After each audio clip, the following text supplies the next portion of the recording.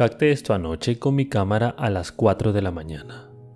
La razón por la que me levanté tan tarde fue, estoy en diálisis en casa y los drenajes me despiertan.